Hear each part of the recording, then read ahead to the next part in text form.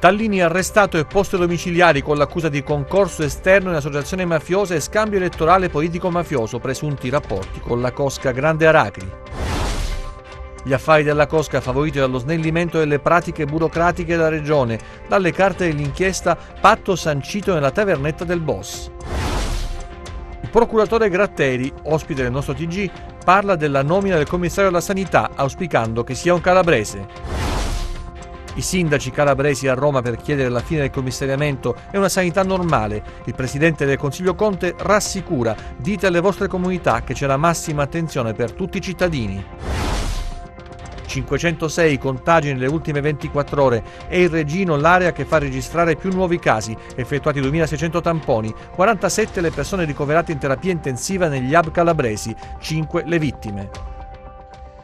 Buonasera dalla redazione del TG10, la cronaca ruba spazio al Covid conquista l'apertura di questa edizione del telegiornale, scattata alle prime luci dell'alba l'operazione dei carabinieri dei comandi provinciali Catanzaro e Crotone denominata Pharma Business, in cui è stato arrestato il presidente del Consiglio regionale della Calabria Domenico Tallini, coinvolte complessivamente 19 persone accusate a vario titolo di associazione tipo mafioso, concorso esterno in associazione tipo mafioso, scambio elettorale e tentata estorsione estorsione. L'operazione è coordinata dalla direzione distrettuale antimafia di Catanzaro, i particolari dell'operazione sono stati spiegati nel corso di una conferenza stampa, ma vediamo i nostri servizi.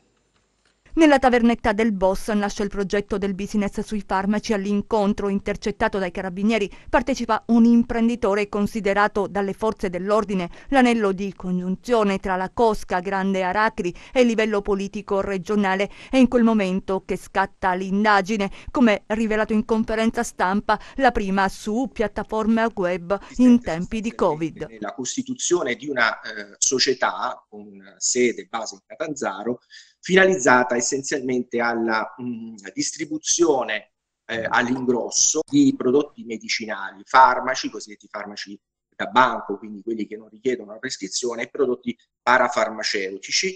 Eh, questo attraverso la realizzazione di una fitta rete di punti di vendita, potremmo dire in, in franchising, eh, costituiti per l'appunto da eh, farmacie e parafarmacie. 18 le misure cautelari eseguite questa mattina dai carabinieri, 11 in carcere, 8 ai domiciliari nell'operazione Pharma Business, in cui è stato arrestato il presidente del Consiglio regionale Domenico Tallini, all'epoca dei fatti assessore al personale della regione Calabria, il cui ruolo sarebbe stato determinante. Grazie all'operato del, dell'onorevole Tallini è stato possibile da parte dell'organizzazione ottenere eh, questi, queste facilitazioni di contatto, di organizzazione, di incontri con funzionari della regione eh, per ottenere, eh, per ottenere eh, queste autorizzazioni e in cambio ovviamente eh, ci sono i voti. Infatti l'imputazione di concorso esterno in un'associazione di inquire di stampo mafioso è il voto di scambio affari fiumi di denaro e la costituzione di società particolarmente complesse per la Cosca che diversifica le modalità d'azione. La locale di Indrangheta dei Grandi Aracri costituisce un ulteriore esempio di come la criminalità organizzata calabrese adotti sempre di più una strategia che utilizza solo residualmente metodi violenti e che anzi ha forte necessità di penetrare nel tessuto economico, per poter riciclare i capitali sporchi. Un'indagine complessa che fanno sapere gli investigatori si è avvalsa di intercettazioni telefoniche ambientali e che ha coinvolto non solo la Calabria ma anche l'Emilia e l'Umbria. Questa è la sede del consorzio al centro dell'inchiesta della DDA di Catanzaro. Il progetto Farmitalia nasce nel 2013 da un'idea del tutto legittima di un'architetta calabrese residente a Roma. L'intenzione era quella di creare un centro servizi a Sellia Marina e altri progetti da realizzare accedendo a finanziamenti dell'Unione Europea, tra cui anche la costituzione di un consorzio per lo smistamento di farmaci. Ma in quel progetto successivamente si inseriscono personaggi vicino ad ambienti criminali, così la donna e il marito escono di scena dicendo dicendosi profondamente delusi dagli amici calabresi. Il business dei farmaci fa gola alle cosche, la famiglia Grande Aracri fiuta l'affare e così il consorzio Farmitalia e la società di capitali Farmaeco nascono con l'apporto finanziario della Cosca che si assicura così coperture nel riciclaggio di capitali sporchi ma anche fette di mercato ad imprese funzionali agli interessi dell'organizzazione criminale, imprese che a loro volta redistribuiscono ricchezze tra gli affiliati un sistema attraverso il quale si truffa il Servizio Sanitario Nazionale esportando illegalmente anche farmaci oncologici per rivenderli all'estero con profitti enormi.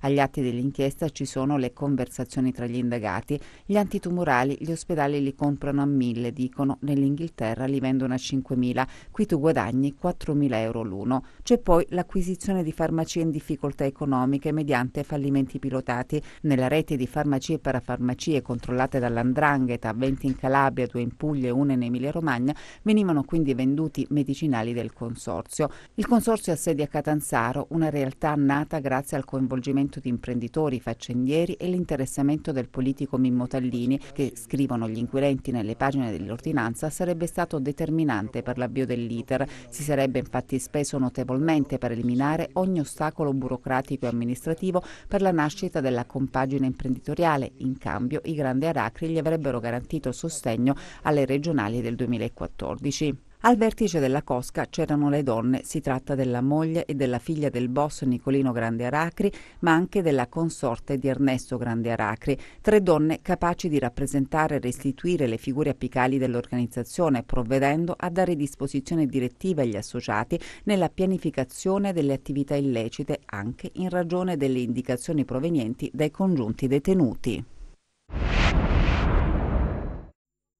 Nelle carte di questa inchiesta si legge che la cosca denominata Grande Aracri di Cutro costituisce un esempio paradigmatico di come la criminalità organizzata calabrese abbia saputo adeguarsi ai tempi, adottando una strategia che lascia su un piano residuale l'utilizzazione di metodi violenti e direttamente intimidatori, prediligendo lo sfruttamento di rapporti diretti e personali con soggetti detentori delle leve del potere, per avvalersi di scorciatoie assolutamente impraticabili per la gente onesta.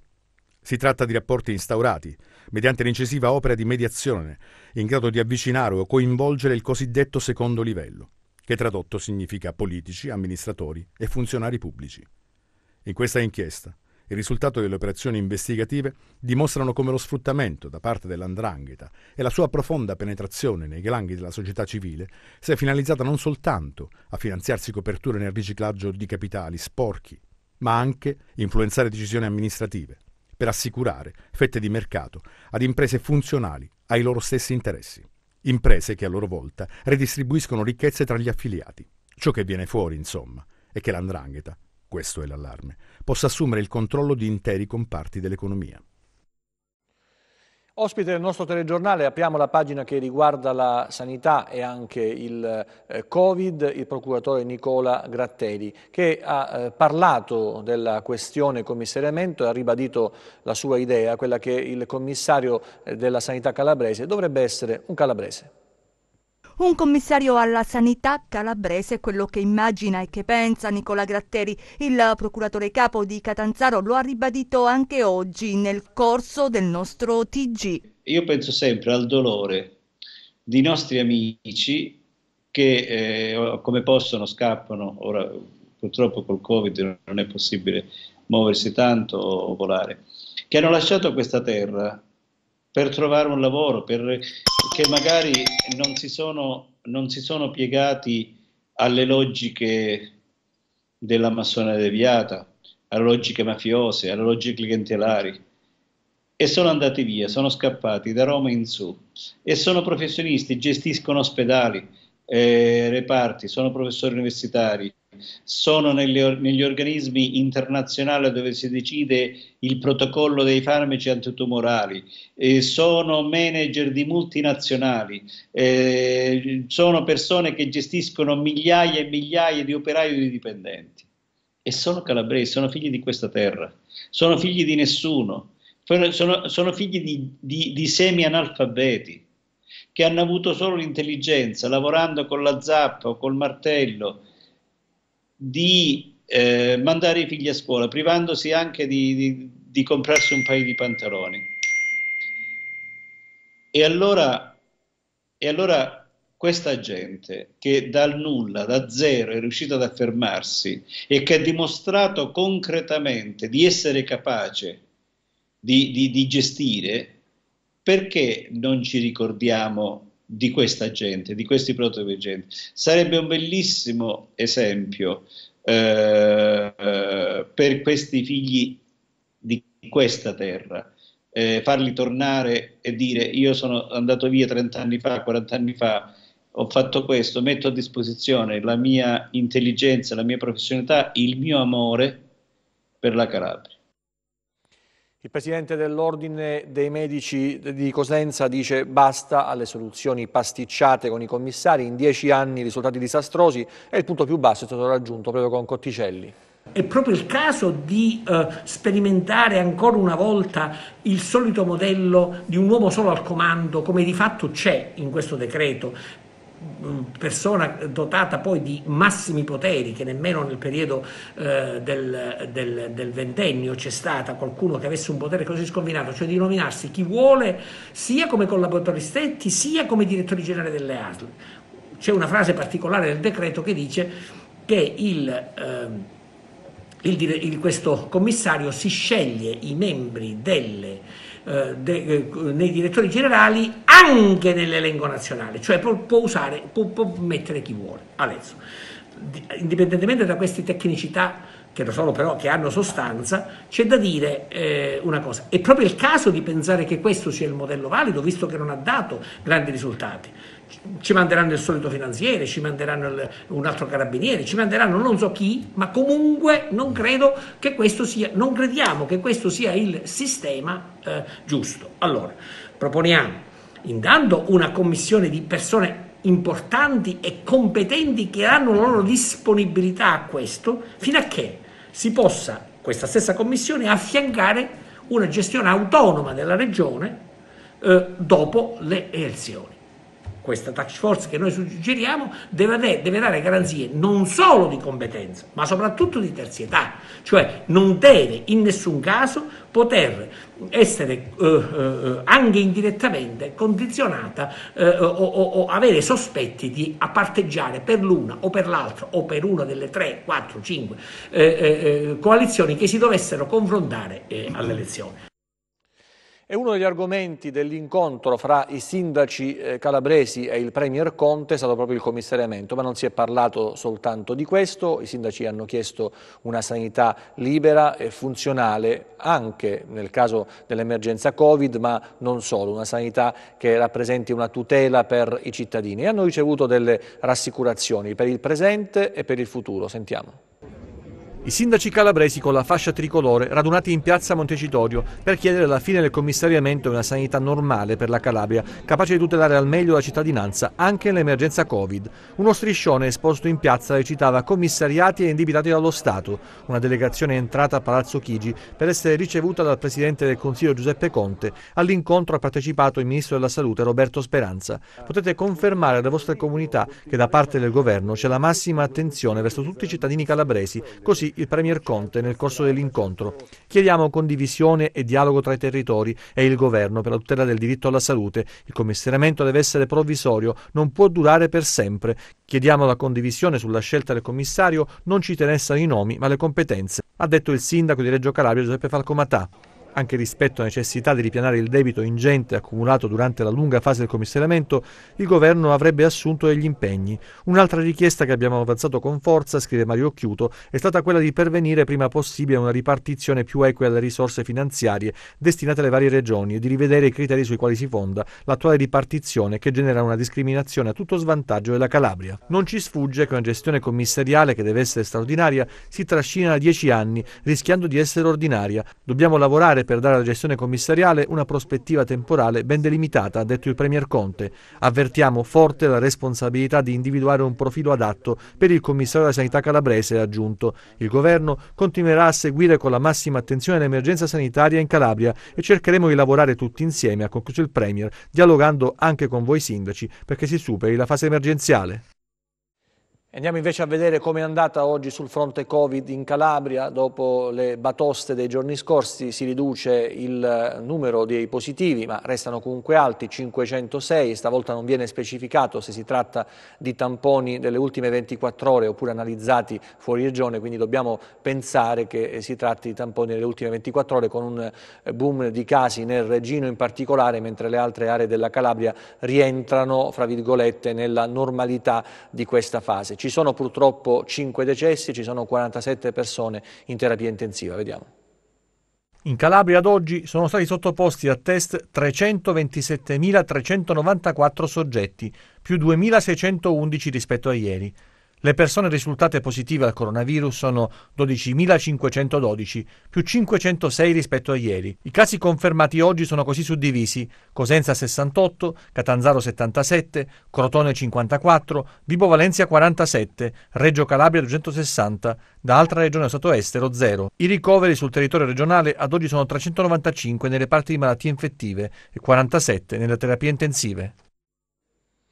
Questo è il bollettino. Situazione all'ospedale di Cosenza. Abbiamo visto nei giorni scorsi che nel pronto soccorso stazionavano quasi 50 eh, pazienti in attesa di sistemazione, tutti con problemi respiratori. Poi c'è stata un'operazione di eh, travaso con eh, delle persone, dei soggetti stabilizzati che sono stati trasferiti in altre strutture e l'apertura di nuovi reparti. Però comunque c'è una pressione molto alta. Interviene sulla situazione del, degli ospedali della provincia di Cosenza anche la WIL. Sentiamo. 24 pazienti in attesa al pronto soccorso dell'Annunziata di Cosenza, nonostante il gran lavoro fatto nei giorni scorsi e i trasferimenti in altri reparti e in altre strutture dei pazienti Covid, continua ad essere alta la pressione sulla porta d'accesso dell'ospedale problema che potrebbe acuirsi nei prossimi giorni se dovesse continuare il flusso costante di degenti con problemi respiratori che caratterizza questa fase. Intanto un altro Rossi, il terzo, è risultato positivo, mentre sarebbe stato contagiato anche un infermiere. Anche a Cetraro c'è un altro operatore sanitario contagiato e un medico del 118. La WIL esprime preoccupazione per la situazione degli ospedali. Per Elio Bartoletti bisogna aprire le strutture dismesse e utilizzare al meglio gli SPOC. Non basteranno gli ospedali da campo. Per noi fondament- sono fondamentali due cose, cioè potenziare la rete territoriale e quindi far partire gli ospedali del territorio. 10 eh, posti sul Cetraro sono chiaramente insufficienti, bisogna fare una programmazione eh, eh, pensando al peggio, non, non, dobbiamo essere ottimisti in questo momento. Le difficoltà le abbiamo viste in altre, in altre regioni e penso che per l'andamento che stiamo avendo anche noi la situazione non si prospetta per le, per le cose migliori. Quindi già il fatto che eh, metà del pronto soccorso è diventato un reparto Covid con oltre 20 pazienti che sono ricoverati perché non li possono eh, eh mandare via. Quindi quindi significa che da un momento all'altro ritorneremo alla, alla situazione di qualche giorno fa, quando avevamo oltre 50. I numeri ci dicono che fra qualche giorno avremo ulteriormente altri 50 ricoverati. Gli ospedali da campo sono una soluzione? Gli ospedali da campo per noi non sono la soluzione. Allora per noi la soluzione eh, è aprire eh, gli ospedali territoriali. Ci sono strutture che sono prontissime, non pronte. Con Elio Bartoletti e adesso andiamo a Siderno, si parla di strutture utilizzate o sottoutilizzate. A Siderno c'è una struttura che potrebbe diventare una palazzina Covid. Ospedale di Siderno, lo vedete alle mie spalle, siamo fuori dalla recinzione. Negli anni si è cercato di eh, utilizzare nel modo migliore questa struttura ed infatti eh, pur non diventando casa della salute come si era detto in un primo momento, oggi ospita uffici amministrativi e anche servizi ambulatoriali. Adesso si pensa a questa struttura come possibile palazzina Covid. C'è un ultimo piano, il terzo piano che è stato adeguatamente completamente ristrutturato e potrebbe rispondere a questa esigenza. Tutto questo mentre all'Ocri, ve ne abbiamo riferito ieri, di qui a qualche giorno sarà attivo un vero e proprio ospedale da campo che sarà una sorta di integrazione alla struttura in cemento già esistente. Insomma, ci sono delle dinamiche eh, decisamente interessanti che non sono comunque del tutto tranquillizzanti, perché ancora di eh, immaginare dentro la struttura che vedete in queste immagini la realizzazione di, una, ehm, di un reparto Covid sembra davvero difficile. Vedremo quali sviluppi ci saranno. Andiamo a Castrovilla dove è stata allestita una tenda nell'area mercatale per l'effettuazione di tamponi rapidi. È in fase di allestimento e funzionerà da domani mattina la tenda allocata presso l'area mercatale vicino al polisportivo di Castrovillari concessa dalla Protezione Civile per l'effettuazione dei tamponi rapidi antigenici. Io sono venuto qui a controllare perché non funzionavano le luci, abbiamo sistemato tutto, abbiamo montato questa tenda e saranno fatti sabato, come ha detto il sindaco di Castrovillari, i, tamponi, i primi tamponi qui all'area mercatale e i tamponi non verranno fatti all'interno della tenda ma all'esterno. Tale attività è stata possibile grazie alla disponibilità fornita gratuitamente da medici, infermieri e biologi e la collaborazione della Gaspollino, del SIULP e del comitato New Commercial Generation, i quali hanno contribuito all'acquisto dei tamponi che saranno somministrati gratuitamente. Da sabato sarà possibile recarsi presso la struttura? No, si devono recare prima dal medico curante, fare la prenotazione e poi vengono qui presso la struttura il medico curante comunica al COC di Castrovilla, al centro operativo comunale di protezione civile e poi verranno qui a fare i tamponi sempre sotto prenotazione, non possono venire così. In caso di positività la Croce Rossa avvertirà immediatamente dell'esito il Comune e il Dipartimento Territoriale di Prevenzione della Salute. Quest'ultimo dovrà sottoporre la persona risultata positiva al tampone molecolare. Questa è la situazione a Castrovillari, anche a Rende allestito un eh, drive-in molto affollato. La curva dei contagi diventa sempre più ripida e l'ASP di Cosenza ha disposto nell'area mercatale di Rende uno screening su tutto il territorio a causa dell'aumento dei contagi. Si effettuano così i tamponi in modalità drive-in. Abbiamo lavorato su due file, ehm, aiutandoci con il tendone del, fornito dalla protezione civile e con l'aiuto della Croce Rossa quindi due file di macchine, due squadre, due medici e due infermieri coordinati eh, dal Dipartimento di Igiene che ci ha fatto pervenire l'elenco delle persone che necessitavano di sottoporsi a tampone. L'affluenza di macchine in coda per sottoporsi al tampone aumenta di giorno in giorno e stamattina erano all'incirca 50 i veicoli con a bordo famiglie pronte ad escludere o confermare la presenza del Covid. I casi di positivi aumentano, aumentano, molti sono sintomatici, è vero, ma sono delle persone che comunque hanno bisogno di un consiglio medico e della nostra presenza sul territorio, hanno bisogno di vederci e di sentirci vicino. Al momento dunque il drive-in sembra la soluzione più sicura per rintracciare la positività positività dei casi. Il consiglio che noi diamo sempre è quello di restare calmi, di restare tranquilli, di restare quanto più possibile sereni. Il coronavirus sicuramente è un virus eh, che a volte determina eh, delle comorbidità importanti, ma non è sempre così. Molto spesso l'infezione decorre in maniera asintomatica, quindi restiamo calmi, facciamo una sorveglianza attiva, quindi cominciamo ad usare la, il paracetamolo se c'è febbre eh, e consultiamo le nostre figure di riferimento, il medico di medicina generale piuttosto che la centrale operativa USCA. Eh, per avere dei consigli che devono essere diversi a seconda dei sintomi e dei quadri clinici, non c'è una terapia che va bene per tutti.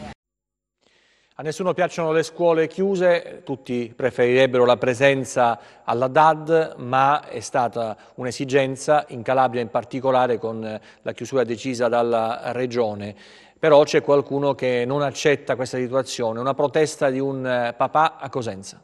Un'alunna, un banco e il suo computer dove segue le lezioni online, non a casa, ma fuori la sua scuola. Se nei giorni scorsi molte mamme si sono battute ottenendo così la DAD, stamattina davanti a una scuola di Cosenza è andata in scena la protesta pacifica di un papà che ritiene invece sia necessaria la didattica in presenza. In presenza significa che, che mille emozioni, mille, mille situazioni dal punto di vista didattico e non andrebbero fatte, andrebbero fatte in classe e, e davanti ai professori e davanti insieme ai propri compagni di scuola. Non ha paura che la scuola sia veicolo di contagio? Non possiamo vivere in una campana di, di vetro, insomma mm, c'è anche un discorso psicologico che va, va visto e che è importante per i ragazzi. Ora io mi voglio, voglio un pochettino, come dire, voglio un po' guardare quei bimbi e quelle, quelle bimbe che non hanno eh, la presenza di un papà e di una mamma sempre e quelle sono quelle che ne soffrono di più. che cosa direbbe a tutti quei genitori che non vogliono assolutamente la scuola in presenza? Vorrei tanto rassicurare perché prima o poi la scuola dovrà iniziare, quindi il tempo perso io penso che sia tempo perso per i ragazzi, solo per i ragazzi. Che cosa vorresti dire ai tuoi compagni? Vorrei dire che mi mancano a vederli dal vivo e che spero che la scuola ricominci più presto. Adesso vediamo come ha chiuso la borsa oggi.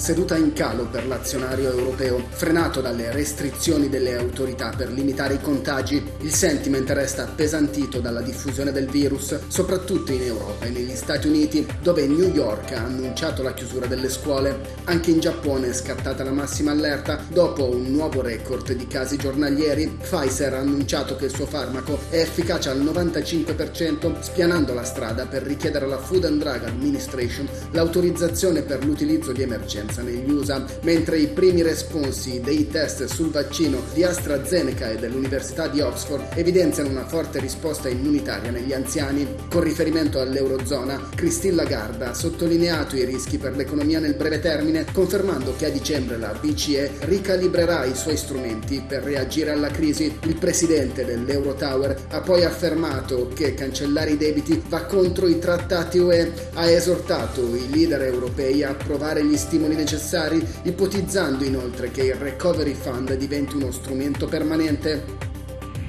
Così il FTSE di Milano chiude in flessione dello 0,4%, in ribasso anche il DAX di Francoforte a meno 0,9%, il FTSE 100 di Londra a meno 0,8%, il CAC 40 di Parigi a meno 0,7%, l'IBEX 35 di Madrid a meno 0,6%, contrastati oltreoceano il Dow Jones a meno 0,5%, l'S&P 500 a meno 0,2% e il Nasdaq a più 0,5%.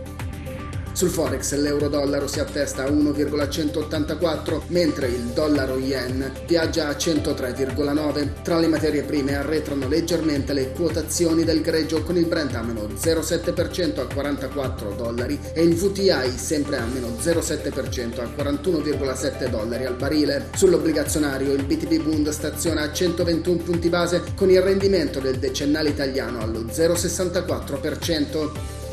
Tornando a Piazza Affari, chiudono in vetta al Fuzzi MIB Inuit a più 3,3% ed FCA a più 2,1%, mentre scivola in coda Amplifon a meno 3,7%. Grazie e buon proseguimento di serata da Market Insight. E vediamo le previsioni del tempo per le prossime ore.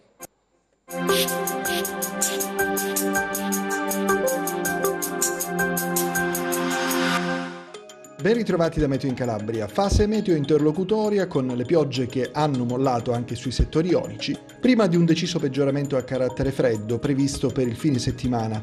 Una perturbazione nord atlantica seguita da aria fredda di origine artica irromperà sul Mediterraneo nella giornata di venerdì, con effetti sulla nostra regione che si avvertiranno dalla giornata di sabato. Domani al mattino cielo poco nuvoloso. Nel corso della giornata assisteremo ad un aumento della nuvolosità sui versanti ionici con piogge in arrivo dal tardo pomeriggio sera, specie su Crotonese e Cosentino Ionico. Segni del forte peggioramento che su quest'ultime aree dovrebbe colpire già dalla notte a cavallo con la giornata di sabato. Temperature stazionarie, passiamo a mari e venti, Domani al mattino ventilazione debole dai quadranti meridionali con mari poco mossi, ma con moto ondoso in aumento dalla serata. Per ulteriori approfondimenti vi rimando al sito www.meteoincalabria.com e alla nostra pagina Facebook Meteo in Calabria. TG che finisce qui, ci vediamo nelle prossime edizioni, grazie per la vostra attenzione, arrivederci, vi auguro una buona serata.